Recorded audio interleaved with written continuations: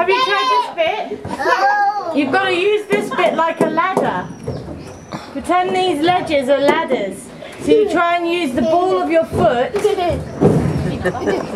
I wish I could show you, but I'm not allowed in it. No. Because you're a big boy.